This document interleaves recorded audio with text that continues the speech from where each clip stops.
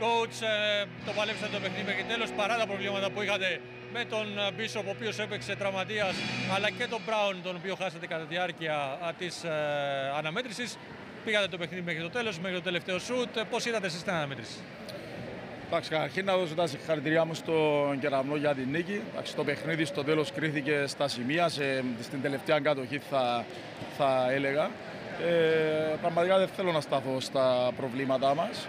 Ε, προτιμώ να σταθώ στο γεγονός ότι ό,τι και να είχαμε μέσα από το παιχνίδι βρήκαμε τον τρόπο να το διαχειριστούμε και θεωρώ ότι επιπληθήκαμε στο παιχνίδι. Μετά το κρατηθήκαμε στο ημίχρονο, το θεωρώ το 15 λεπτά του τρίτο δεκάλεπτο και τα 5 του τετάρτου ήμασταν πολύ καλύτεροι μέσα στο γήπεδο και στα δύο πλευρές.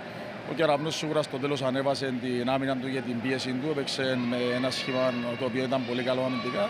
Σίγουρα και εμείς λόγω των θεμάτων μήγαμε και λίγο από δυνάμεις. Ε, αλλά εντάξει, συνεχίζουμε. Ε, ήταν ένα ωραίο παιχνίδι για τον κόσμο, κρίθηκε στα σημεία. Ε, υπάρχει πολλής δρόμος νομίζω στη συνέχεια. Διακοπή για τις εθνικές ομάδες τώρα, για την εθνική ομάδα. Ε, έχετε χρόνο να προετοιμαστείτε ε, καθώς ε, θέλετε να διεκδικήσετε όσο, όπως, όσο μπορείτε την πρώτη θέση της κανονικής σεζόν.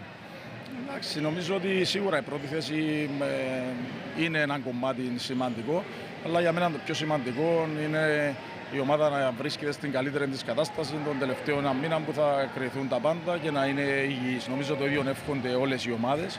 Άρα, στόχος μας στη διακοπή είναι να, είναι να ξεκουραστούμε, να συνταχτούμε, να έχουμε τις σωστές αποκαταστάσεις και να προσπαθήσουμε να μοντάρουμε την ομάδα εν ώψη ε, της τελικής ευθείας.